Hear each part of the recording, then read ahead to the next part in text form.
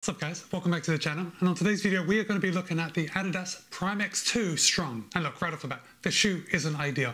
I didn't expect to really like this shoe very much at all and there are several things with the shoe that just didn't work for me but even with all those things there is a massive upside to the Prime X2 Strung. Let's get into it. Let's get some disclosures out of the way. This video is a partnership between me and Roadrunner Sports, and Roadrunner Sports was good enough to send me the Adidas Prime X2 Strung for the purpose of review. However, they are not going to get a chance to see this video before you do. They haven't told me what to say, and all the thoughts and opinions are my own. So I think we should just get started off with price, and we're going to come back to price at the end. But I think it's important going forward that you know how much this shoe is going to cost if you are going to consider it, and it will cost you $300. So it's expensive. It's more expensive than the vast majority of race day shoes out there, and ultimately, this is not a race day shoe. Or is it? I mean, we'll talk more about that when we talk about ride. But of course, weight is also something that people want to know when we talk about shoes. And I'm going to have to keep changing it from hand to hand because the Adidas Prime X2 Strung, not exactly the lightest shoe that you have probably ever run in or thought about running in. In fact, Adidas claims that in a US men's size 9, the Prime X2 Strung would tip the scale at 10 ounces or 283 grams. However, in my size, a US men's size 13, unsurprisingly, the weight goes up quite a bit. And in my size, the Prime X2 Strung weighs in at 13.9 ounces or 393 grams. That's just shy of 400 grams on each foot. And I know for some of you that that weight, that weight is going to be a non-starter, especially when you consider the price and how most shoe companies, especially when they're talking about shoes that they want you to run fast in, they put a lot of effort into cutting the weight. But let's get into the shoe because there's a lot more to it than just the price and the weight. So as always, let's start at the top. Let's work our way down. I'm gonna hold this up and you can see it is a very thin heel collar fact, we have these little bolsters on each side and there is no padding right here at the back of the heel. This actually works quite well for me. I enjoy this amount of padding. I guess if I had to choose, if I would like a heel counter, I would always choose one, but the Prime X2 Strung does not have any heel counter. This is very loosey-goosey here in the back. And when I put my foot into the shoe, it doesn't feel totally locked down. It doesn't feel like I'm not going anywhere. I can feel a little bit of movement in my heel when my foot is seated. Now the upper, as the name suggests, is the strung material, and I just think this is the best looking upper I have ever seen. I just love it. I knew I liked how it looked when I saw it online, but in person, the strung upper is just stunning. In fact, I wish I could buy all my shoes in the strung upper. It looks that good. Now the tongue is a very thin knit material, and the knit material goes right into the strung upper, so the fit of the Prime X2 Strung is like a booty. There's no traditional tongue Um, put your foot in, tighten the laces, and the whole kind of booty fit just tightens down around your midfoot. And overall, I thought the strung upper fit very well around my foot. I had plenty of room in the toe box. I did get a good midfoot lockdown for the most part. We'll come back to that in just a second. And I had no issues with the tongue. As far as overlays go, there, there really aren't any. The strung material is just strong enough to keep that upper in the right position. These Adidas stripes seem to be, they're kind of woven in throughout the strung upper. I think it looks pretty good. And come along the eyelet chain, we don't have any reinforcement along the entire chain, but we do have these little loops that the laces go through. And in my testing, I haven't had any trouble with them. It looks like they're sewn in right at the bottom, so they're not going anywhere. And then when we come up to the top, you can see this little piece of plastic for the top two eye holes, and this really is a piece of plastic right at the top, but we do have these two eyelet holes with a top eyelet hole, so you could do a runner's knot. So remember I was saying that I did have a loose feeling in my heel. Potentially I could do the runner's knot, and that should eliminate any heel slip, or at least that feeling of looseness in my heel. I'll tell you though, even though I did feel a little bit of looseness, it was just that feeling of looseness that I tend to get in shoes that don't have a heel counter, but when I was running, I didn't experience any heel slip. So I didn't have to do the runner's knot when I was wearing the Primex X2 Strung. Adidas has included their little, their little elf ear heel tab on the back, which I used every single time putting my foot in. Now look, it wasn't a challenge to put my foot in, but I guess it was more challenging than some other shoes, some shoes with a normal lacing mechanism, but it certainly wasn't as difficult as putting my foot into race shoes with a tight weave upper. So think something like the Hoka Rocket X2 or the Nike Vaporfly 3. I have a terrible time getting my feet into those, but that's just because that's how the fit of the shoe. It makes it difficult to put your foot in, but once your foot is in, it feels comfortable. I didn't have that much trouble with the Prime X2 Strung, and when my foot was in, it felt good. If we come down to the midsole, this is what it's all about. This is this is the hype train of the Prime X2 Strung. We have 50 millimeters in the heel, 43 and a half millimeters in the forefoot, 46 and a half millimeter drop. And of course, according to World Athletics Rule C 2.1a Appendix 3, the 50 millimeters of stack height in this shoe makes it illegal. That's right this shoe is forbidden. If you want to use it in competition, in competitions that are governed by World Athletics and you're actually a contender. If you are a contender and you have to pay attention to World Athletics rules, let me know in the comments. But I got a strange feeling that you and I, these rules really don't apply to us. And if you wanted to use the Prime X2 strung in a race with this whole 50 millimeter stack height, you're more than welcome to. It's not going to make any difference. In fact, it's going to feel really good. Now, while we're talking about rules and regulations and this 50 millimeter stack height, there is no stack height restriction on trail runs. I suppose if there was ever like a hard packed trail marathon, you could actually wear the shoe without violating any of World Athletics rules. But on the other side, you're probably not going to want to use a running shoe with a 50 millimeter drop on the trails. Now, this giant stack of midsole is all Lightstrike Pro. In fact, there are three layers of Lightstrike Pro. Well, there are actually two layers in the back and three in the front. And technically, this middle layer is the Energy Core. And this Energy Core is slightly softer than the Lightstrike Pro above and below. How much softer is the Energy Core, you ask? Let's find out. I have my handy dandy durometer right here, so let's try the top layer of Lightstrike Pro. We have 26 and a half. The bottom layer of Lightstrike Pro is 23 and the energy core, the soft energy core is 20, 21, 18 and a half. It's actually difficult to get a good reading. Let me try again. Yeah, same, 20. So we've got 26 in the top.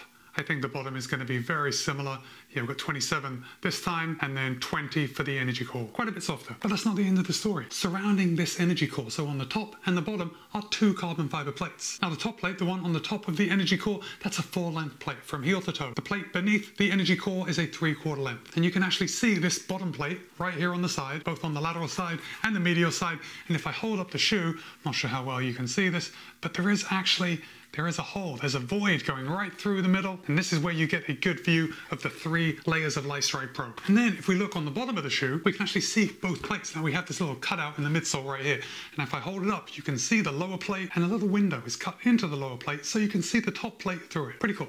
Three layers of Lightstrike Pro, two carbon plates. There are a lot of goodies in this shoe. Oh, and then while we're on the bottom, we do have Continental rubber. Now, the rubber looks very slick, but I didn't encounter any slipping when I was wearing this shoe, and I've worn this shoe quite a bit. Also, while we're talking about this outsole rubber, it does seem to have quite a bit of coverage, and what I was pleasantly surprised to see is when I look at this lateral heel area, this is where I generally touch down, especially when I'm running easy, but guys, I see absolutely zero wear, and I have over 50 miles on this shoe as of the filming of this video. So by saying that, by saying that I've got no wear, I mean, yeah, the shoe is probably going to last, at least it will last longer than I expected it to before I actually started running in it. But look, this isn't me justifying paying $300 for a shoe. I'm just saying that it's probably going to last a little while. Just looking at the amount of outsole wear, I'd say it's going to last longer than a lot of those other race shoes. This isn't a race shoe.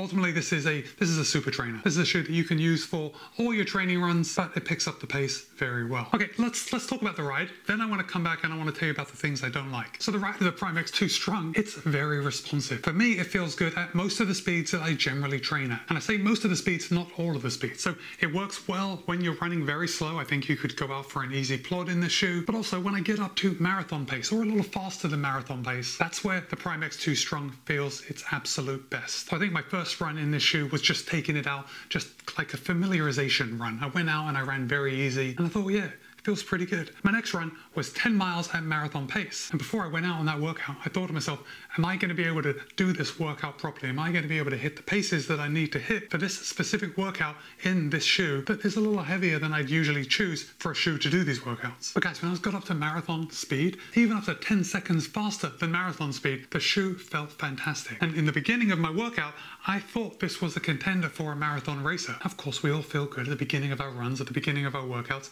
and I did start to notice the weight a little bit towards the end of that session, but throughout the session, the shoe still felt extremely good and extremely responsive. Fact, if I hold it up, you can see this, this toe spring right here. This creates a very aggressive ride. So when you do start picking up the pace, this shoe does feel like it's kind of throwing you forward. It's that sensation that we want to get in a race day shoe. Of course, that's a product of all the technology that's been put into the shoe with these three layers of Lightstrike Pro, especially this energy core. And then you've got two carbon fiber plates, which makes this shoe so rigid. In fact, I think it's probably the most rigid shoe I've ever felt. I just, I can't bend that shoe at all. It's rigid like I'm trying to bend a piece of stone. And that rigidity and all this foam makes for a very fast feeling ride. And that fast feeling ride, that's the reason that it feels like it may work for a race day shoe. And I would say it's possible this will work better as a race day shoe than some of the other super trainers that don't have a stiffer plate. You know, there are several shoes out there that have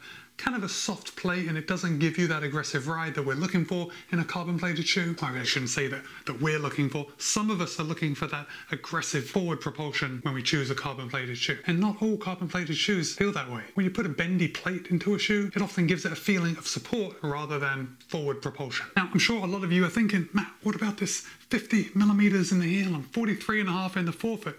It must be like wearing stilts. And yes, it is like wearing stilts. So I went on holiday and my wife and I, we went on a cruise and I was walking down the hallway and I'm actually, if you didn't already know, I'm a little taller than average. My height in bare feet is just a shade over six foot seven. So when I put on shoes like this, they give me a little bump in height. And you can see right now I'm walking down the hallway on a cruise ship and I had to watch out for the sprinkler heads and the signs hanging down from the ceiling because when I had these shoes on, I would hit my head on everything. Most of the time I can walk through doorways, but I had to duck when I'm wearing the Primex X2 Strung. Guess that's a downside to this shoe, but listen, most of the time we're not going to be walking around in day-to-day life, and most of you are probably not six foot seven, so you probably don't have to worry about that. Okay, yes, so that is a downside, but it's not really a downside because this shoe was incredibly stable. I mean, let me hold it up this way. Can you see this sole flare coming up?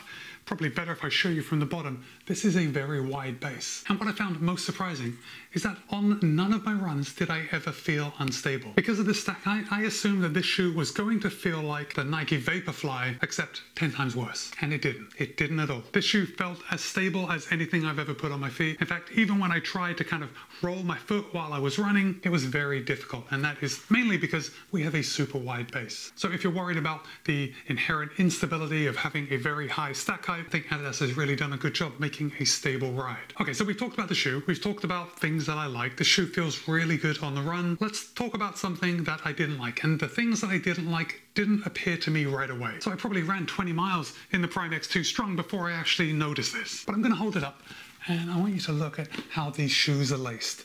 You see, we start here, we come up, we come up. Oh, what's this? This lace loop has been skipped. And what I found was that when I had cinched down the laces on this shoe, I started getting a little pressure right here on the top of my foot. Now, if I put my hand inside and I feel where this lace loop is, there's nothing that really sticks out, but it is just slightly firmer. And I think it's where they've sewn this lace loop into the strung upper. So it may stick out just slightly. And when you apply pressure, when you lace it down and you cinch those laces down so the upper is tight against your midfoot, it creates a lot of pressure. I guess the most important thing that I want to get across to you is that even though I had this pressure and I had to reroute my laces, didn't have any issues running in the shoe when the laces were rerouted to different eyelets. Okay, so why don't we wrap this up. And guys, I've got to tell you that because of the ride, because of how this geometry makes you feel fast, because of the Lightstrike Pro and the two carbon fiber plates, I think this is my favorite Adidas shoe that I've ever run in. And remember, this is a shoe that is almost 400 grams in my size, and yet it feels fantastic.